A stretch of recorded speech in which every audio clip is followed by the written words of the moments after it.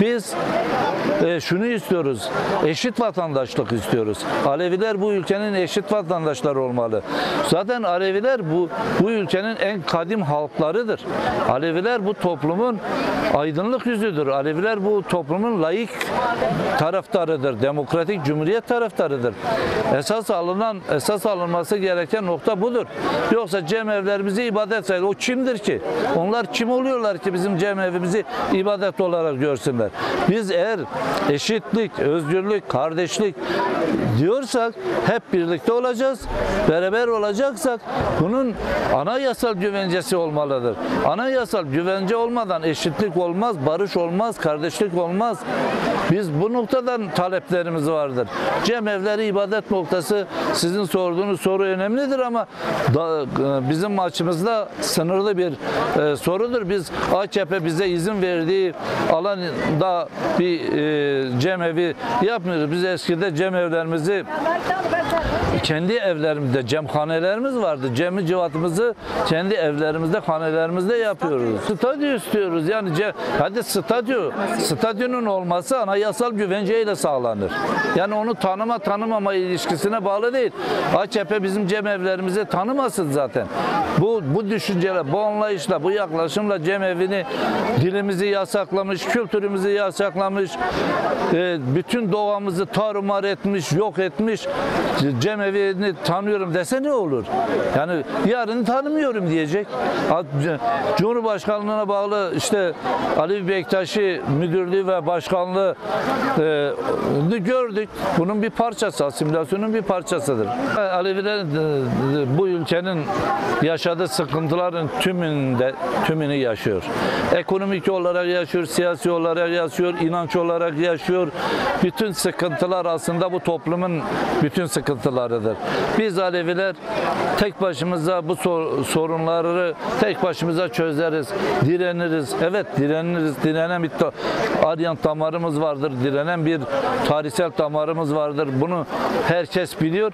Fakat bugünün Türkiye'sinde biz sadece tek başımıza değil, bizim dostlarımızla e, bütün e, antidemokratik uygulamalara karşı çıkan tüm e, herkesle bu sorunları çözmek istiyoruz. Onlara karşı çıkmak istiyoruz onlara. Yoksa yaşadığımız ekonomik sorun da ortaktır. Yaşadığımız siyasi sorunlar da ortaktır. En çok da ben bugün Sünni canlarımıza Müslüman e, canlı İslam e, alemine sesleneyim. Aslında onların inancı zor durumdadır. Yani biz Aleviler biliyoruz yani ne hakla bizim aramızdaki çatışma yüzyılların çatışmasıdır. Biz kabul etmedik, kendi gönlümüze meyman etmedik. Aslında Müslümanlar, İslam hareketi en çok zor durumda olan kendi camiyi artık AKP'nin eliyle ya da devletin eliyle yönetiliyor. Vaazları artık Cumhurbaşkanı ya da İçişleri Bakanı ya da başka bir bakanın talimatıyla yapılıyorsa en zor şey, en zorda kalan bunlardır.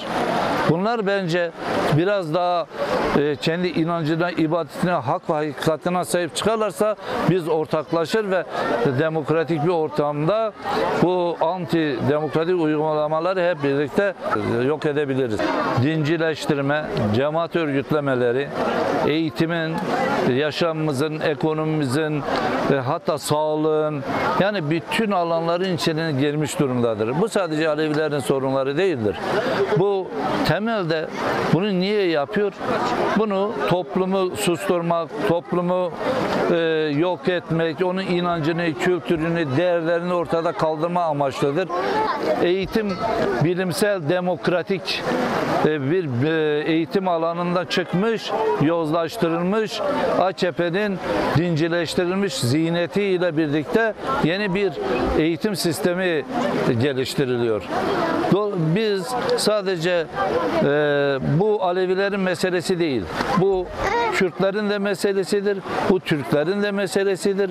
Bu bu toplumda bu ülkede yaşayan çünkü demokratik bilimsel bir eğitim olmadığı müddetçe bu ülkenin e, barışma e, şansı yoktur.